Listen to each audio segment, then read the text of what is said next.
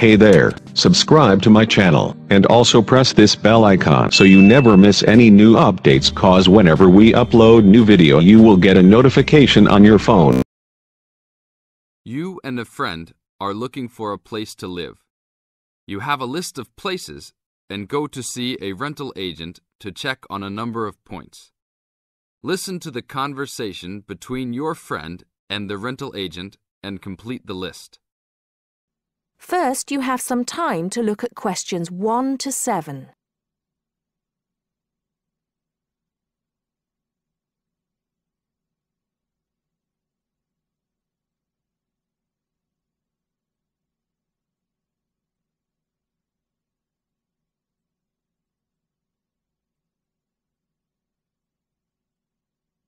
Now listen carefully and answer questions 1 to 7. Hi, we've been looking over your listing of apartments for rent and we have a few questions about a couple of the apartments. Can you help us? Sure. Yep, this is our most recent listing. What would you like to know? Well, we were first wondering about the house on 3rd Street. We can see that it is furnished and rents for $135 a week, but can you tell us how many bedrooms it has? Let's see. In addition to the den, it has three bedrooms. The rental on 3rd Street has three bedrooms. So in the example, three bedrooms has been written down in the number of rooms column for 19 3rd Street. Now we shall begin. You should answer the questions as you listen because you will not hear the recording a second time. Listen carefully and answer questions 1 to 6. Hi, we've been looking over your listing of apartments for rent and we have a few questions about a couple of the apartments. Can you help us? Sure. Yep, this is our most recent listing. What would you like to know? Well, we were first wondering about the house on 3rd Street. We can see that it is furnished and rents for $135 a week, but can you tell us how many bedrooms it has? Let's see. In addition to the den, it has three bedrooms. What about the one on Route 9N? It looks like it's big with a library and a deck, but it doesn't say how much it costs or anything else about it. Oh, yes, Mrs. Gaylor's apartment. That one is actually only a 10 month rental and it is going for $156 per week. It's quite a nice place. She only rents for 10 months each year because of horse racing season. Then her relatives all come to stay, so tenants have to move out. It's a little bit inconvenient, but past tenants have really enjoyed their stay there. Oh, well, we need it for a full year. I guess that one is out. How about the rental on Broen Drive? How many rooms does that one have? As it says on the list, it has two bedrooms and a private kitchen and bath. But it's actually a very small place. That's why it's a bit cheaper. Oh. Well then, what about the one that has three large rooms? Who is renting that property? That one is a good deal. Mr. John Smith is renting it. But he's quite eccentric and he has a strict rule about no pets. How about cats? Nope, absolutely no pets. Hmm, well then, how about this studio apartment rented by Mr. Bo Jensen? How is that one? That ad is actually a bit deceptive. The studio apartment is the whole upper floor of an older house. It's actually very large and, at $45 a week, quite affordable.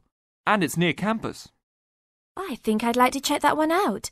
Do you have a telephone number that we can call? It's not on the list? Oh, it isn't. Here it is. You should ring area code 518 and then 543 7790. Thanks. I think I'll call on that one first. Your friend decides that he would like to talk to Mr. Bo Jensen. Before you hear the rest of the talk, you have some time to look at questions 8 to 10.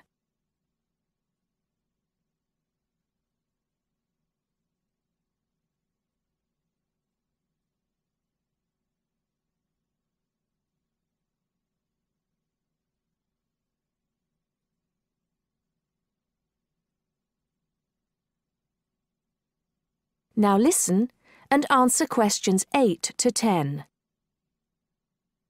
Hello? 1512, Route 9. Yes, is this Mr. Jensen? Yes, it is. Can I help you? Yeah, we're studying here at university and we came across the rental information for the studio apartment that you're renting. Is it still available? Yes, of course. I actually just placed the ad and you're the first person to call. Is there anything you'd like to know about it? Yes, actually there is. As students, we are on the internet a lot, and we heard that some homes in the area have high-speed connections. What type of connection do you have there now? Oh, that's an interesting first question. But I guess I have heard that too. But we just have a phone line here. Nothing fancy. I think you can have a cable line installed, but it's just a phone line for now. Okay, well maybe we can do that. What type of heating does the apartment have? Now there's a more traditional question. We have oil heat here. It's an older house. That tends to be a little more expensive during the winter, right? Yeah, but there's nothing to do about it. It would cost too much for me to put in a gas heater. What else would you like to know about the apartment? Well, we heard it was quite big. Is it furnished? Actually, yes. I should have put that in the ad. It has an old couch and a couple chairs, a dining table, refrigerator, stove, and even a dishwasher. Does it have any beds? Yep, it has two. That sounds great. When is the apartment available? You can have it tomorrow night if you want. I just have to clean up a couple things before you get here. Do you want to come over and see it first? No, it sounds fine to us. I actually know the street too, so I know the area. We'll take it. That is the end of part one. You now have half a minute to check your answers.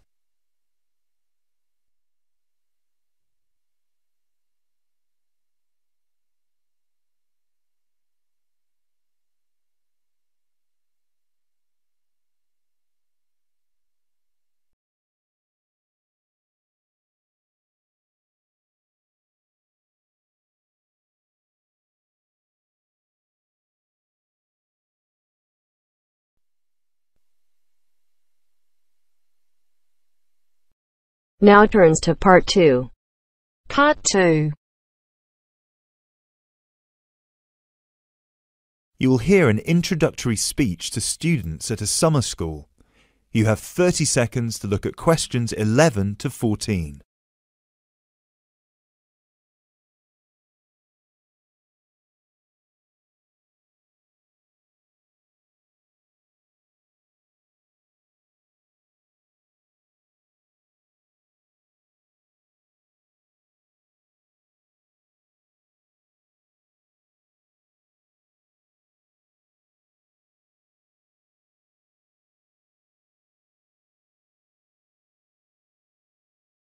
Good morning, everyone, and welcome to Climb Summer School.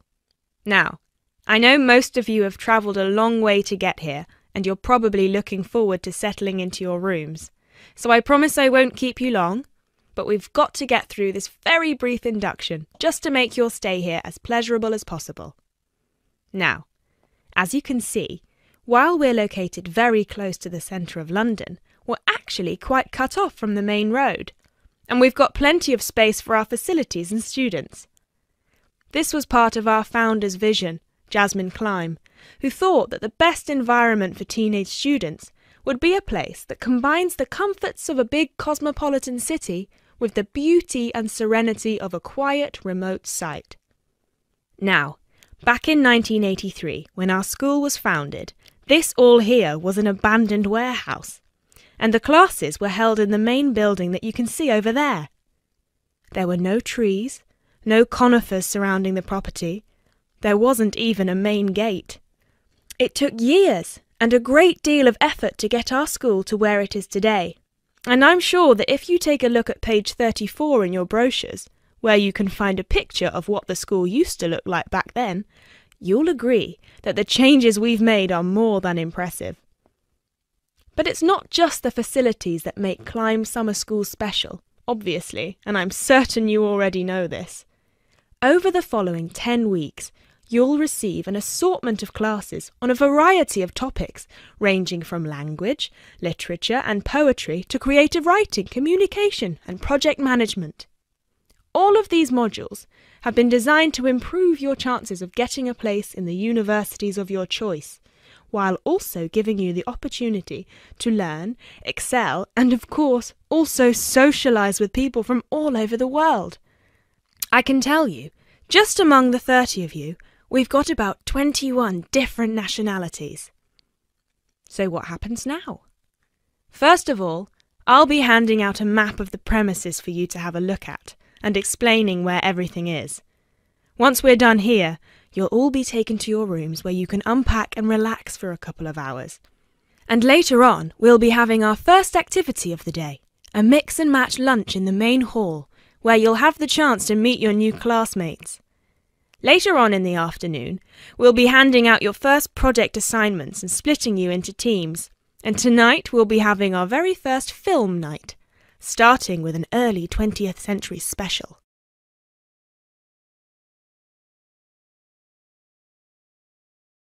You now have 30 seconds to look at questions 15 to 20.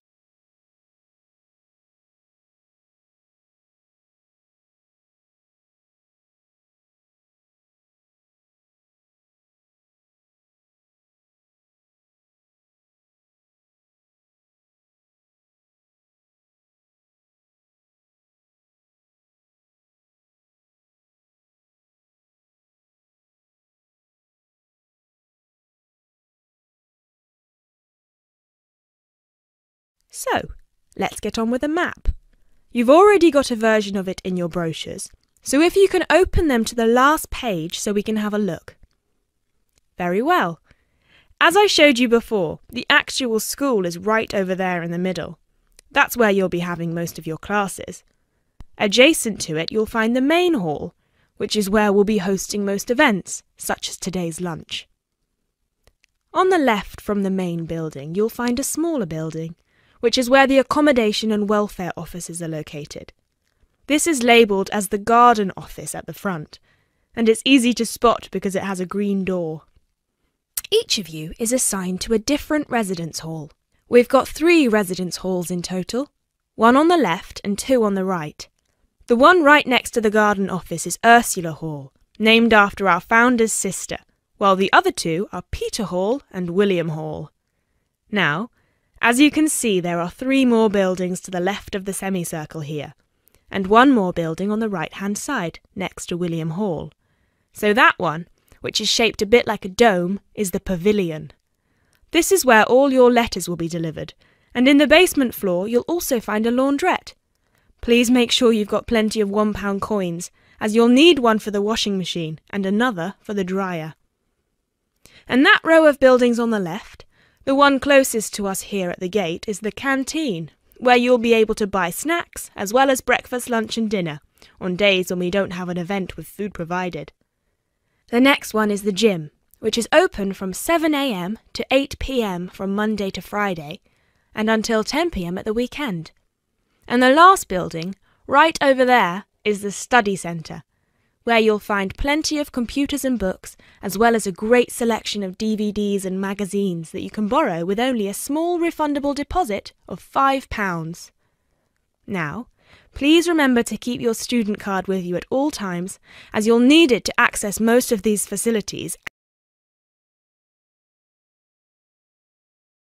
That is the end of part two. You now have half a minute to check your answers.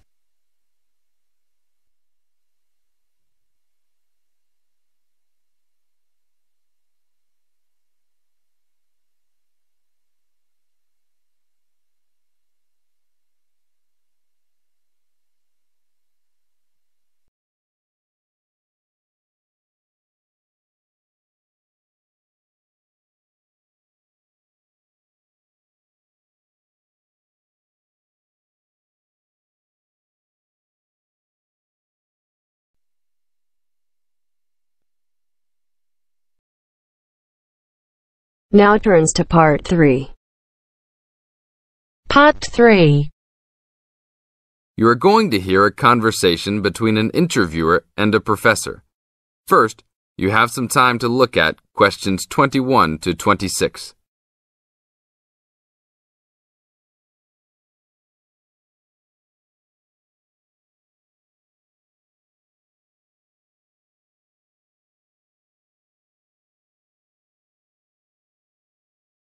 Now listen to the tape and answer questions 21 to 26. Today I'm here with Professor Nittick, who is our new university president. He has been a professor for 20 years and teaches many of the best classes on campus.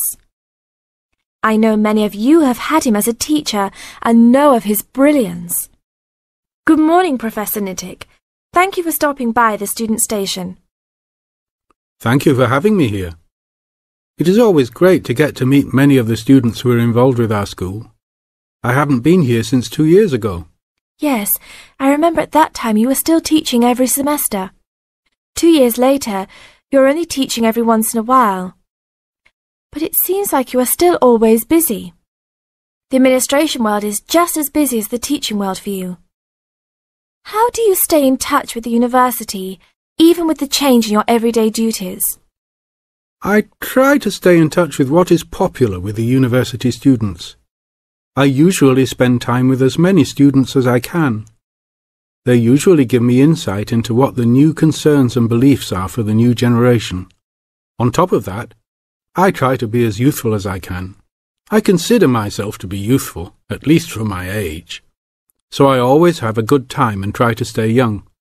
I try my best to not just be a teacher, but also participate in university life. Interesting. So, are you still doing lots of academic work, or are you mostly concentrating on administrative affairs?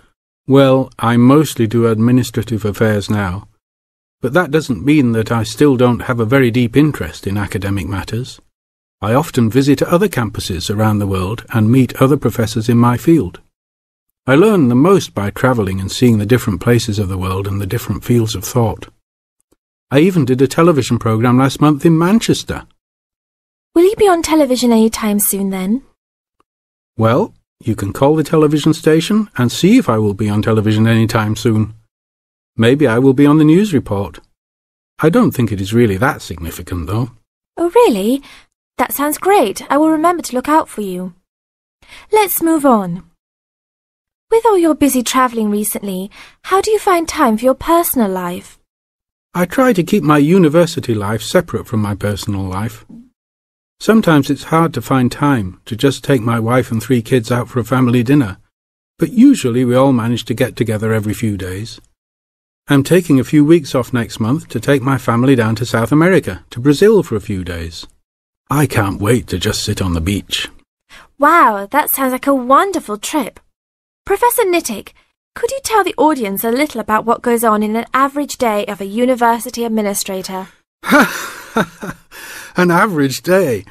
Oh, I don't think there is such thing as an average day for me. The last few weeks I've been travelling all the time. I can be in Los Angeles in the morning and in New York by the afternoon and back to Los Angeles by the evening. Sometimes I will spend the whole week at a new university showing the new administrators the ins and outs of running a university. Sometimes I can spend the whole day in the office on the phone, so there really is no average day for me. I guess that is because I do so many different tasks. Sorry to let all the viewers down, but that is the plain truth. Now look at questions 27 to 30.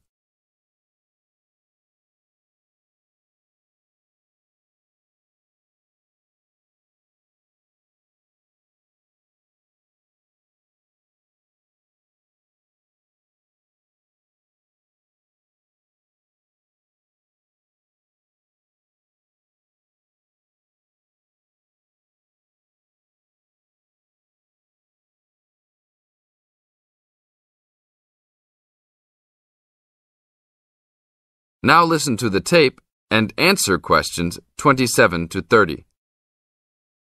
Well, I guess I can sum it up for them. You are a busy man. That is probably a good description. So, are there any immediate plans for the coming few weeks? Well, I'm in Los Angeles for the next two days, and then I fly to Colorado to meet a new prospective professor for our university. I will be in Colorado for about a week. Then I go to Japan for the next ten days to meet with our university branch in Japan about record sales there. After that, I return to Los Angeles for a week, just in time for the graduation of the class of 2001. There you have it, my next month's schedule. Thank you very much, Professor Nittick. I always enjoy having you on our show. We hope to have you back on our show next time.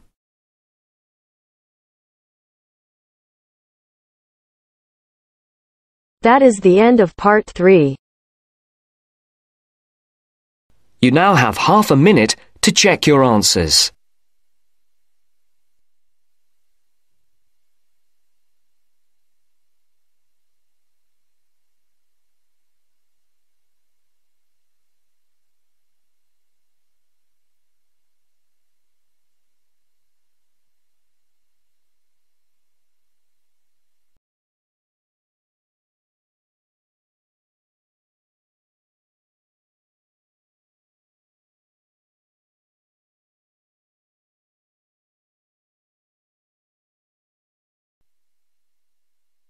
Now turns to part 4.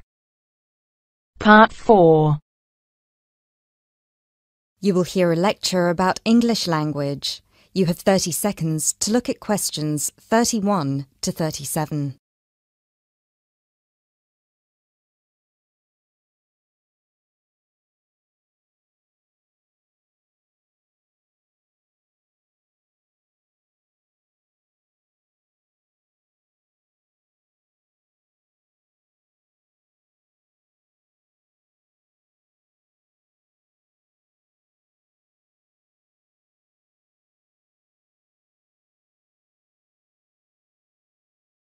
Those of you who were here last week will remember that we talked about the journey of the English language from its early Indo European origins through to Old English, Middle English, and then to early and late modern English before it reached the form that it has today. Today, we will be continuing that theme by focusing on the future of the English language and all the places it might go from here. There are about 2.1 billion people around the world who can speak English. Out of these, only 400 million are native speakers, which means that 4 in 5 English speakers are non natives. This is obviously quite an impressive number, considering that just two centuries ago, in 1801, there were only about 20 million speakers of English around the world, and languages like French and German were ahead of English in terms of how many people were using them. But what does it mean? What it means is that the future of the English language doesn't really depend on its native speakers, but on that massive number of non native speakers learning it around the world. Has everyone. Has anyone heard the term pidgin before, or Creole? A pidgin is a simplified version of a language which acts as a bridge between two people who don't have a common language, allowing them to communicate with each other while a Creole is a language that evolves from a pidgin, with the difference that it is fully formed with clear grammatical rules and vocabulary. There are currently dozens of Pidgin and Creole languages based on English around the world, for example, Nigerian Pidgin or Jamaican Patois. These languages are also known as Englishes. What's interesting about these Englishes is how different they sound to, for lack of a better term, proper English. Take the word trousers, for instance. In Sheng, which is a Kenyan Creole language, they're called longi because they're long. But even versions of English that are recognized as official variations or dialects still differ greatly from each other. Americans and Jamaicans would call the back of a car where you store your luggage the trunk. Britons, Australians, Canadians, and other Commonwealth countries would call it the boot. A subway in the UK is a tunnel under a road that allows pedestrians to cross safely. In the US, it's an underground train. You might think of these differences as minute, but when you take into account the dozens of different versions of English out there, a very intriguing parallel arises with another language from the past Latin. Latin, too, used to be a lingua franca. Nowadays, it's all but dead, spoken only by a few clerics and scholars. At some point in history, it splintered into various different languages which became known as Romance languages. For example, Spanish, Italian, or French. There are some that theorize that the same thing might happen to English in the near or distant future, that all these Englishes we have today in different countries will continue to develop, so pidgins will turn into Creole languages, and Creole languages will turn into just languages, and English itself, as we know it today, will disappear, or become less and less important.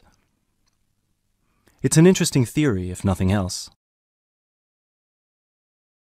You now have 30 seconds to look at questions 38 to 40.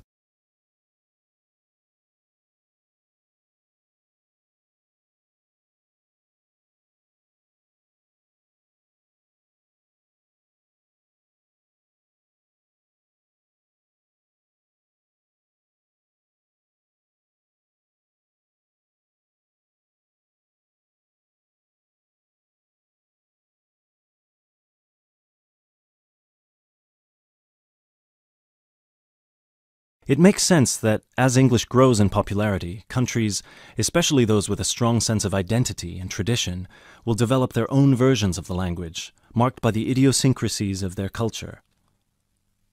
Just think of the contribution of dialects such as Jamaican or South African English. In the past 50 years alone, they've added about 25,000 words to the English language.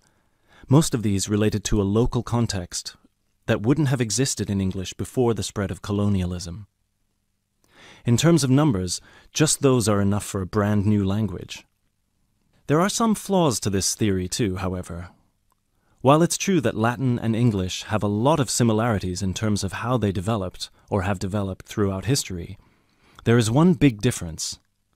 We currently live in an era of globalization. Today, you can be in India and stream an American film or TV series in seconds. You can be in Nigeria and listen to British music. You can be in Brazil and read a novel from an Australian author. Just a few centuries ago, this was unthinkable. So, what's the other way that English could go? According to some experts, there's the possibility that it could maintain its status as the world's global language, but with a few differences. Already today, most conversations in English occur between non-native speakers. While many of these might be fluent, the majority probably only have an intermediate understanding of the language, devoid of the nuances, colloquialisms, and complex collocations that native speakers employ in their interactions. This means that over time, English could turn into some sort of world speak, the official lingua franca for the entire world, but in a simplified form. Some scholars have even started trying to develop that version of English by selecting the most useful words in the English vocabulary for non-native speakers to learn. Robert McCrum has compiled a comprehensive list of 1,500 words, for example, a version of English that he calls Globish. And what about traditional native speaker English? It might continue to exist, but lose its popularity, as the previous theory suggests. There are many more theories about the future of the English language, of course. I've only focused on the two main ones because they clearly demonstrate our uncertainty when it comes to how this beautiful language will develop.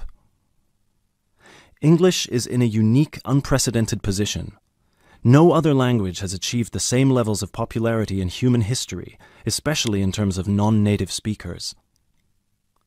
So, as this is clearly uncharted territory, only time will be able to tell us what will happen. That is the end of part 4.